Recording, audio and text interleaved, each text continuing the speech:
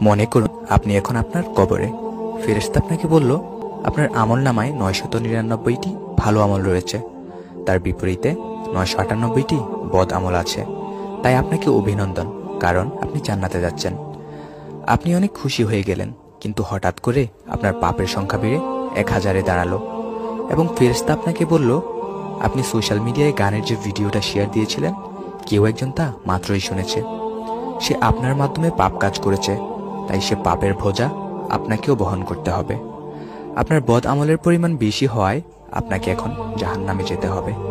শুধুমাত্র অন্যের পাপের কারণে জান্নাত হাতছাড়া করার পর আপনার কেমন লাগবে? আপনার মৃত্যুর পরও আপনার আমল নামায় প্রতিনিয়ত গুণাযুক্ত হচ্ছে, শুধুমাত্র একটা শেয়ারের কারণে। এখন বুঝতে পারছি তো ফেসবুক অথবা সোশ্যাল মিডিয়ায় নাচ গানের ভিডিও শেয়ার করা কতটা ভয়ানক হতে পারে?